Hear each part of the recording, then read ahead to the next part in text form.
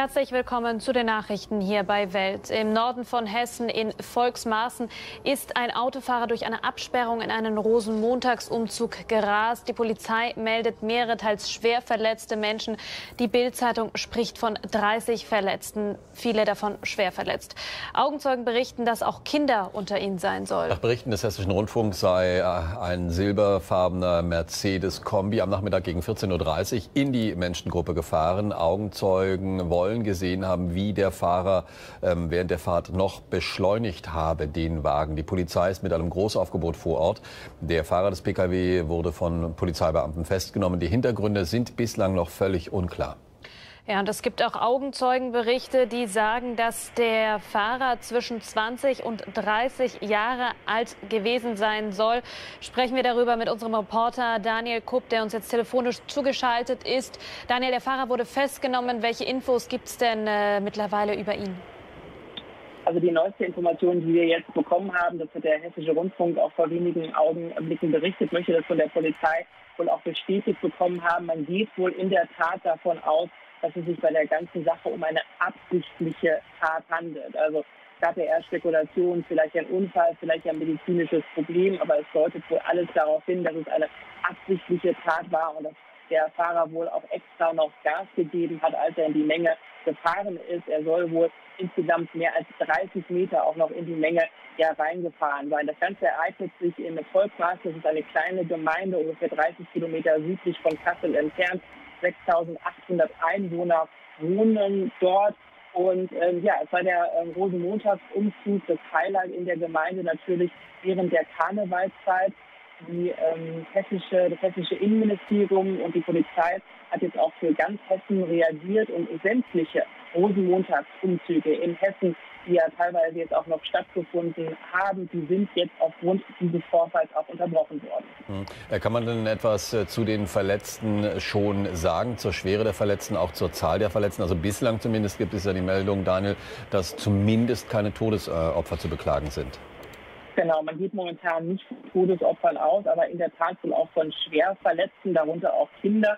Äh, die Zahl, da gibt es auch ganz unterschiedliche Angaben. Erst war ja von zehn ähm, ja, Verletzten die Rede. Jetzt ähm, sagen einige äh, Medienberichte, dass es sich sogar teilweise um bis zu 30 Verletzte handeln könnte. Also da gibt es momentan noch keine ja genauen und noch keine gesicherten Informationen äh, von äh, der Polizei. Interessant ist, dass es am Sonntag wohl in der Gemeinde auch einen, ja einen Zwischenfall wohl gegeben hat in der Halle. Ähm, da bei einer Karnevalsveranstaltung in Volkmassen, da hat es wohl einen ähm, Alarm gegeben und der, der entsprechende Bereich, der ist wohl auch kontrolliert worden äh, von der Polizei. Das hat die Feuerwehr der Gemeinde auch bei Facebook geschrieben. Ob es da einen Zusammenhang äh, gibt, das wissen wir nicht. Die Veranstaltung die ist wohl äh, gestern dann auch nach einer kurzen Unterbrechung fortgesetzt worden.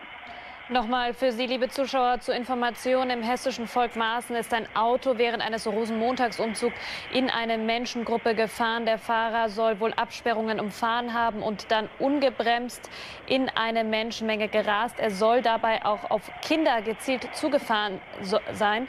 Ähm, es ist die Rede von mehr als 30 Verletzten. Bestätigt ist diese Information nicht. Ähm, Todes, auch Infos über Todesopfer liegen uns bisher nicht vor.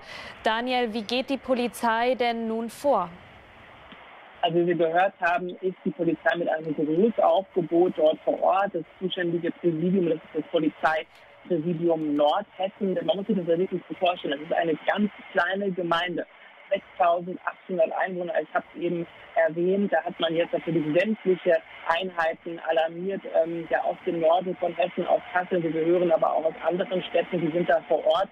Ich habe jetzt gerade auch gehört, dass ähm, das ganze Gebiet dann natürlich jetzt wohl auch abgesperrt wurde. Da sind wohl auch Sichtzäune ähm, aufgebaut worden. Ähm, so können wir das auch bei Fotos und bei Social Media sehen. Also die Ermittlungsarbeiten, die laufen da natürlich noch vor Ort. Dann haben wir auch gehört, dass ein Portal bereits eingerichtet wurde, ähm, ja, wo Zeugen mögliche ähm, ja, Fotos, Hinweise etc. alles hochladen können. Also die Lage vor Ort, das haben wir gerade auch nochmal von äh, Reportern gehört, die äh, vor Ort sind vom Hessischen Rundfunk, alles natürlich noch sehr unübersichtlich. Es war ein ja, relativ schöner Nachmittag. Äh, wohl, man hatte sich auf diesen Umzug gefreut und niemand hatte natürlich gedacht, dass das Ganze sich da so tragisch dann entwickeln würde. So, telefonisch verbunden sind wir jetzt mit der Gerichter vom Polizeipräsidium äh, Kassel. Können Sie uns äh, zu den aktuellen Entwicklungen vor Ort äh, etwas mehr sagen, Herr Richter? Ja, im Moment ist es äh, nach wie vor so, dass wir davon ausgehen, dass gegen 14.30 Uhr das Auto in diesem Rosenmontagsumzug in Volkmaßen gefahren ist. Äh, derzeit gehen wir davon aus, dass es ähm, ca. 30 Verletzte gibt, darunter auch mehrere Schwerverletzte. Und was wir auch sagen können, ist, dass wir derzeit davon ausgehen, dass der Täter bewusst in diese äh, in diesen Menschenmenge gefahren ist. Ja, wie unser Reporter Daniel Kupp gerade schon gesagt äh, hat, es gibt äh, mittlerweile ein Hinweisportal für Bilder oder Videos dieser Tat. Ähm, der Täter, der Fahrer, wurde aber festgenommen. Heißt, man sucht jetzt nach weiteren Spuren, man braucht Aussagen von Zeugen?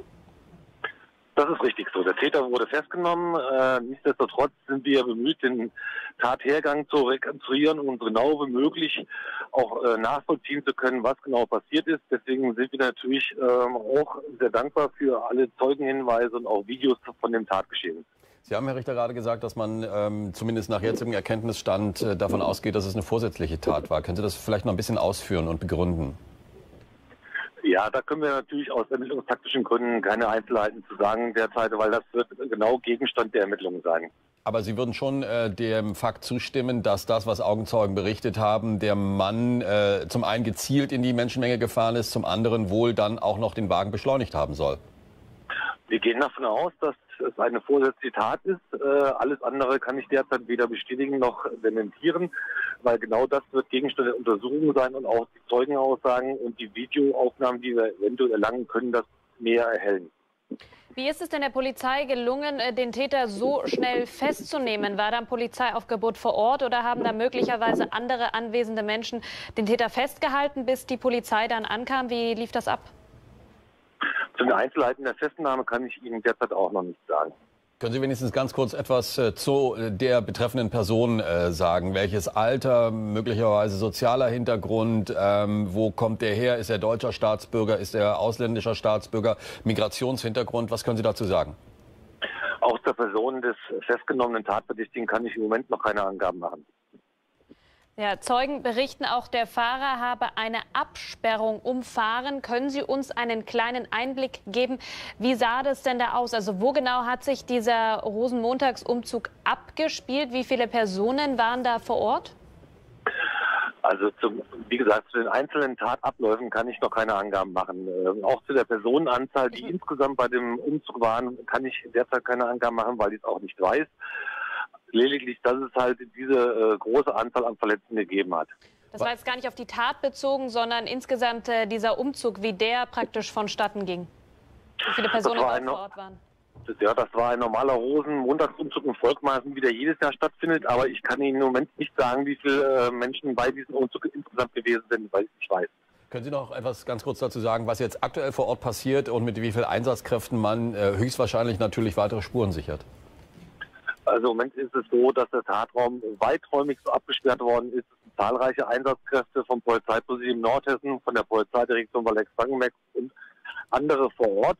Äh, wir sperren den Tatort ab, um die Spurensuche möglichst intensiv gestalten zu können und sind weiterhin auf der Suche nach Zeugen. Und das wird im Moment die vordringendste Aufgabe der Polizei sein. Ähm, Sie können sicher sein, dass die Ermittlungen derzeit auf Hochtouren laufen. Wie werden denn die Menschen betreut, die möglicherweise auch Augenzeugen dieses Vorfalls äh, geworden sind? Ähm, neben den Verletzten, die ich schon erwähnt habe, gibt es natürlich auch viele Menschen, die das gesehen haben und die betroffen sind. Die werden durch Feuerwehr und Rettungsdienste auch intensiv betreut. Vielen Dank, Herr Rainer Lingner. Und äh, wir reden ja. über diesen Vorfall auch noch. Herr Richter war das. Herr Richter, Richter Entschuldigung. Wir haben noch eine andere Schalte gehabt. Da waren das eben falsche Informationen auf meinem Bildschirm. Herr Richter, vielen Dank für diesen Moment, für die Informationen. Und äh, wir reden über diesen Vorfall natürlich noch mal mit unserem Reporter Daniel Kopp. Daniel, sind dir weitere Informationen äh, bekannt, wie der Täter so schnell festgenommen wurde? Also um ehrlich zu sein, haben wir dazu bisher auch noch keine Informationen bekommen. Für mich ist es auch noch relativ schwer, äh, das zu sagen, weil ich ja noch nicht vor Ort bin. Ich werde in ungefähr 30 Minuten äh, vor Ort sein. Ähm, können wir uns das Ganze, ja, was ja auch von Augen auch bei Social Media ähm, ja gesehen hat. Das ist ein kleiner Ort. Der Mann hat dann wohl ähm, ja, Gas gegeben. Das berichten ja die Augenzeugen, ist dann in diese Menschenmenge hineingefahren. Ob dann ähm, ja, er versucht hat zu fliehen, ob dann vielleicht Leute in diesem Auto gestürzt sind, das, das wissen wir aber momentan noch nicht. Da äh, kann ich leider noch nichts sagen. Wir bitten die schlechte Tonqualität, liebe Zuschauerinnen und Zuschauer, äh, zu entschuldigen. Ähm, vielleicht, Daniel, kannst du ganz kurz noch mal zusammenfassen, was denn äh, da genau am Nachmittag in Volkmaßen ähm, passiert ist? Genau, also wie wir gehört haben, so sich das Ganze ja gegen 14.45 Uhr äh, ereignet haben. Es war der Rosenumzug in Volkmaßen, eine kleine Gemeinde, 6.800 Einwohner, Kilometer entfernt. Umzug sicherlich das Highlight, ja, Gemeinde während des äh, Karnevalsumzugs. Zu dem Zeitpunkt waren wohl auch sehr viele Kinder vor Ort und wir hören, ist dann wohl ein silberfarbener Mercedes ähm, ja, in diese Menschenmenge gefahren. Wir haben gehört, der wohl Sperrungen umfahren hat, die Möglichkeit hatte, wohl doch der nach diesem Karnevalsumzug dann äh, zu kommen. Er ist dann in die Menschenmenge äh, gerannt, äh, die wir von Augenzeugen gehört haben, soll er wohl auch Gas gegeben haben. Das hat der Sprecher der Polizei ja gerade auch eigentlich indirekt äh, bestätigt und dann soll es zu Verletzten kommen. Viele Verletzte, ob 10, ob 15 oder 30, da gibt es momentan noch unterschiedliche Angaben. Das hat der Sprecher der Polizei gerade auch ja noch nicht äh, bestätigen können. Und dann gab es wohl diese Festnahme. Um wen es sich da handelt, es gibt erste Informationen, dass es sich dabei um einen Deutschen handeln soll. Auch dazu haben wir momentan äh, noch keine gesicherten Informationen. Was wir aber wissen, aus. Was wir aber wissen, dass die ähm, ja, Fastnachtsumzüge in ganz Hessen, dass sie heute abgesagt und unterbrochen wurden. Äh, Daniel Koop, recht vielen Dank für diese Information und wir halten Sie natürlich weiter auf dem Laufenden. Sie haben es gerade gehört, noch ein bisschen undurchsichtig, äh, undurchsichtig die Gesamtsituation. Die Polizei, die aus ermittlungstaktischen Gründen natürlich nicht so viel ähm, preisgeben kann. Momentan fest steht bislang, dass äh, in Volkmaßen gegen 14.30 Uhr ein Mann in einem silbergrauen Pkw in eine Menschenmenge gefahren ist, die gerade ähm, einen äh, Rosenmontagsumzug mitgefeiert oder mitgefeiert hat und mitgefeiert äh, wurde. Bis zu 30 Menschen momentan die aktuelle Zahl, die verletzt wurden, zum Teil auch schwer. Ja, und die Polizei in Mainz hat am Rosenmontag spontan auf den Vorfall bei einem Karnevalsumzug im nordhessischen Volkmaßen, die hat reagiert und sie überwacht nun mit Drohnen gezielt Zufahrtsstraßen. Das Ziel sei es, auffällige Fahrzeugbewegungen frühzeitig zu erkennen. Das teilte die Polizei mit. Also man hat hier Angst vor womöglich weiteren Anschlägen oder weiteren Vorfällen. Von einem Anschlag kann man ja nicht sprechen. Da gab es bis jetzt keine Bestätigungen. Diese Drohnen, die seien eigentlich dafür vorgesehen gewesen, gewesen, gefahrenträchtige Situationen rund um den Bereich des Rosenmontagszuges auszumachen. Nun würden sie aber an den Rändern der Veranstaltung genutzt. Wegen des Rosenmontagszuges sind ja knapp 500.000 Menschen in Mainz an eben diesem heutigen Montag unterwegs. Wie gesagt, weitergehende Einzelheiten zum Vorfall in Volkmaßen hier bei Welt, sobald sie uns vorliegen. Und wir kommen zu einem anderen Thema. Die Ausbreitung des Coronavirus in Italien, die löst Besorgnis in ganz Europa aus, auch hier in Deutschland. Die Weltgesundheitsorganisation WHO spricht jetzt davon, dass die Welt möglicherweise vor einer Pandemie stehe. Die Zahl der Infektionen, die steigt rasant an. Mittlerweile sind es mehr als 220 Infizierte in Italien und fünf Menschen starben. Die italienische Regierung, die regelt bis auf weiteres jetzt Städte im Norden des Landes komplett ab. In Mailand, da wurden öffentliche Einrichtungen wie Schulen und Obernhäuser geschlossen. Und am Brenner, da wurden Züge wegen Virusverdachts gestoppt. Ohne Sondergenehmigung kommt keiner mehr rein oder raus. Wie hier bei Codogno steht in 13 abgeriegelten Kommunen das öffentliche Leben praktisch still. Viele Geschäfte sind geschlossen. Vor den anderen drängeln sich die Menschen aus Angst vor einer Lebensmittelknappheit. Kein Wunder, drinnen sind bereits viele Regale leer. Ich finde die Kontrolle notwendig, aber es gibt für uns bisher viel zu wenig Informationen. Ich halte das Ganze für übertrieben. Für mich ist es einfach zu viel. Aus Angst vor einer Ausbreitung des Virus hatte bereits in der Nacht Österreich am Brenner die Grenzen für diesen Zug mit 300 Reisenden aus Venedig dicht gemacht. Zwei deutsche Touristinnen waren mit Verdacht auf Corona-Infekt bereits in Verona aus dem Zug geholt worden. Nach vier Stunden dann Entwarnung. Die Frauen hatten nur eine normale Grippe. Der Zug durfte weiterfahren. Die Frage, ob eine Grenzschließung überhaupt das Virus stoppen könnte, wird heiß diskutiert. Österreich und die Schweiz denken darüber nach. Frankreich und Deutschland halten davon bisher wenig. Auch gibt es noch keine offizielle Reisewarnung des Auswärtigen Amtes für Italien. Trotzdem ist die Bundesregierung auf der Hut. Wir bleiben unserer Handlungsmaxime treu. Wir bleiben aufmerksam. Wir bereiten uns auf alles vor. Wir reagieren aber auch jederzeit angemessen und verhältnismäßig. In Italien wird unterdessen alles getan, um eine weitere Ausbreitung der Krankheit zu verhindern. In Mailand bleibt aus Angst vor Ansteckungen das berühmte Opernhaus Scala bis auf weiteres geschlossen, werden aktuelle Modeschauen wie hier bei Armani vor leeren Rängen nur noch im Internet übertragen. Ob sich das Virus von den verschiedenen Maßnahmen aufhalten lässt, weiß derzeit aber niemand. Bettina Gaber, die ist in der unter Quarantäne stehenden Stadt Codogno. Das ist der Ort mit den meisten Infizierten in Italien. Was tut man denn dort seitens der Behörden, um eine weitere Ausbreitung zu verhindern, Bettina? Ja, man hat den Ort ja abgesperrt. Es soll Kontrollen, Straßenkontrollen geben. Wir sind heute Morgen nicht daran gehindert worden, in den Ort hineinzufahren. Die Menschen haben aber Angst, dass sie nicht mehr rauskommen und dass es auch keine Waren mehr gibt. Sie stehen stundenlang, viele Stunden vor dem Supermarkt an. Sie dürfen nur mit Atemmasken hinein in den Supermarkt. Und da der Supermarkt zu wenig Personal hat, weil eben viele Mitarbeiter offenbar von anderen Orten außerhalb der Sperrzone kommen, dürfen immer nur 10 bis 15 Leute hinein in den Markt. Insofern dauert es ein einkaufen hier viele Stunden. Aber viel anderes kann man hier auch offenbar nicht tun, denn Schulen sind geschlossen, öffentliche Aktivitäten dürfen nicht mehr stattfinden. Eigentlich soll das Leben äh, stillstehen, aber man sieht, der Verkehr läuft trotzdem. Wahrscheinlich, weil viele Menschen eben versuchen, sich das Nötigste zu besorgen und auch mehr als das Nötigste. Denn viele kommen mit ganz vielen Wasserflaschen. Vielleicht trauen sie der Wasserversorgung nicht, denn in Italien haben Verschwörungstheorien mal wieder Hochkonjunktur, zum Beispiel die, dass eben eigentlich man ja schon einen Anti, einen ein, ein Gegenmittel gegen dieses Virus haben müsste. Denn die Menschen, die diese Krankheit hatten, die haben ja Antikörper und daraus müsste man schon etwas haben können, was tatsächlich dann hilft. Insofern, es gibt viele, viele Theorien und es gibt auch schon Trittbrettfahrer. Denn in dieser Region gibt es offenbar Menschen, die sich ausgeben als Mitarbeiter von Gesundheitsbehörden und die Kontrollen durchführen, aber damit sich Zugang verschaffen zu den Wohnungen der Menschen, um sie auszurauben. Bettina, danke schön. Unterdessen meldet China, das Ursprungsland des Virus, 150 Todesfälle an nur einem Tag. Und das ist ein neuer Höchststand. Und so greift Chinas Führung durch. Der Nationale Volkskongress wird nicht wie geplant am 5. März in Peking stattfinden. Und die Stadt Wuhan, die bleibt weiter unter Quarantäne. Temperatur messen, Schuhsohlen und Hände desinfizieren. Bei diesem Friseur in Peking heißt es, erst wird der Kunde untersucht, bevor die Schere zum Einsatz kommt. Nur eine von vielen Vorsichtsmaßnahmen in China, um sich vor dem neuartigen Erreger zu schützen. Die Weltgesundheitsorganisation lobt das Land nun für seinen Kampf gegen das Coronavirus. Das alles ist nur möglich, weil sich das gesamte chinesische Volk engagiert. Von den untersten Gemeindevorstehern, mit denen wir gesprochen haben, bis hin zu den Gouverneuren ganz oben. Das ist außergewöhnlich.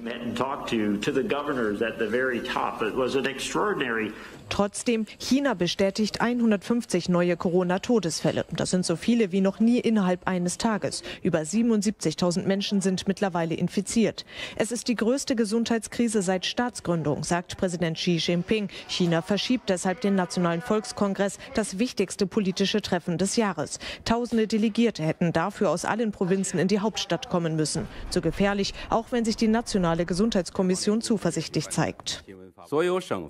Die neu entlassenen Patienten in allen Regionen haben die neuen bestätigten Fälle übertroffen oder erreicht. Die Prävention und Kontrollmaßnahmen zeigen nach und nach Erfolg. Die Millionenmetropole Wuhan setzt weiter auf Quarantäne. Die meisten kleinen und mittleren Betriebe bleiben geschlossen. Peking kündigte nun finanzielle Hilfe an. Im Norden von Hessen in Volksmaßen ist ein Autofahrer durch eine Absperrung in einen Rosenmontagsumzug gerast. Die Polizei meldet mehrere teils schwer verletzte Personen. Augenzeugen berichten, dass auch Kinder unter den zum Teil schwer Verletzten sein sollen.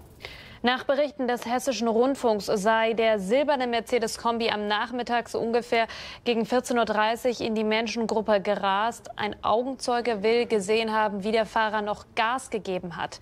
Die Polizei ist mit einem Großaufgebot vor Ort und der Fahrer des Pkw wurde von Polizeibeamten bereits festgenommen. Die Hintergründe die sind aber bislang noch völlig unklar. Und zugeschaltet ist uns äh, jetzt Marie Metzur. Du bist am Tatort. Davon kann man sprechen in jedem Fall. Was für ein Bild bietet sich dir? Genau, also die Straße hinter mir, die ist auf jeden Fall momentan gesperrt mit äh, schwarzen Bändern, beziehungsweise man sieht hier wirklich nicht mehr durch. Ähm, es soll ein PKW, es soll ein gezielter Anschlag von diesem PKW, von diesem Menschen ähm, gewesen sein. Das steht auf jeden Fall laut Polizei schon fest. Ähm, Marie, was ist denn mittlerweile Neues bekannt über die Verletzte? Wie viele Verletzte gibt es und wie schwer verletzt sind sie? Kann man Todesfälle schon ausschließen?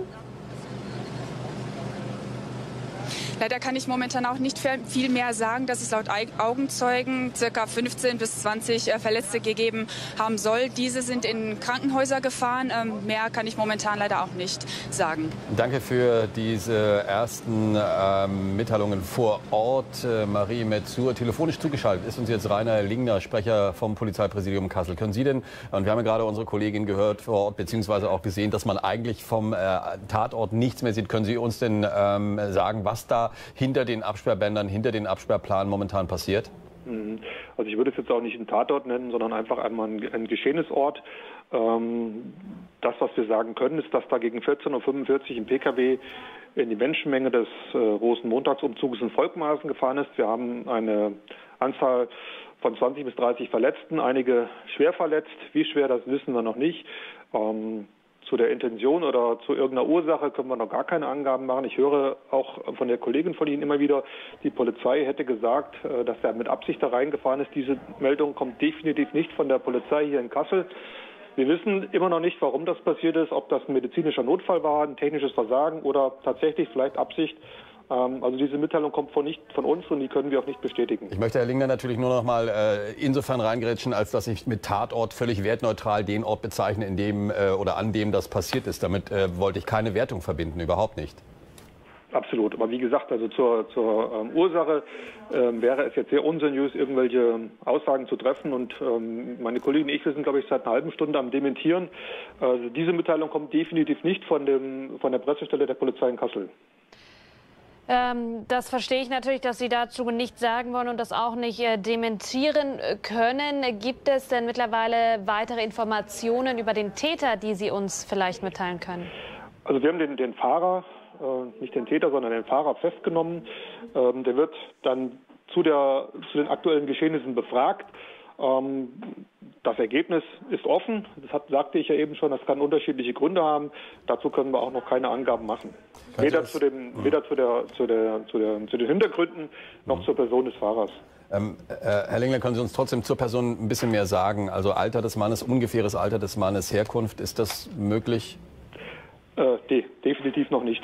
Hm. Können wir noch keine Angaben machen zum Fahrer. Reden wir ganz kurz noch mal über die Zahl der Verletzten. Hat sich da die ja. Zahl stabilisiert? Wie viel sind es momentan? Wie viel sind davon schwer verletzt, schwerst verletzt? Mhm. Wo also, und wie werden die gerade behandelt? Genau, also wir gehen von, einem zweistelligen, ähm, von einer zweistelligen Zahl aus. Reden wir mal von 20 bis 30. Schwer verletzt bedeutet ja im, im Sprachgebrauch der Polizei, dass sie zumindest stationär aufgenommen werden. Das kann natürlich ein, ein Handbruch sein, es kann aber auch eine schwere mhm. Verletzung sein. Inwieweit die jetzt äh, oder wie schwer die verletzt sind, das können wir nicht nicht sagen. Ähm, wie gesagt, das heißt bei uns nur stationäre Aufnahme. Ähm, aber da jetzt irgendwelche Aussagen zu treffen, das ist äh, zurzeit nicht möglich. Und in dem ganzen Durcheinander und in dieser Lage äh, wird sicherlich die Anzahl der Verletzten sich vielleicht auch nochmal ändern. Ja. Ähm, das ist äh, schwer vorherzusagen. Aber bislang können Sie auf jeden Fall ähm, Todesopfer ausschließen. Davon haben wir keine Kenntnis, genau. Mhm. Das ist Vielen der Stand Dank. jetzt um 17.22 Uhr. Ne? Recht vielen Dank äh, für ja. diese ähm, Eindrücke bzw. das, was Sie uns gesagt haben. Rainer Lingner war der Sprecher vom Polizeipräsidium Kassel. Ja, es kursieren sehr viele Gerüchte im äh, Internet. Es gibt natürlich viele Twitter-Posts. Es wird viel spekuliert. Unter anderem gibt es nun auch eine Meldung. Wir wissen nicht, ob das bestätigt ist.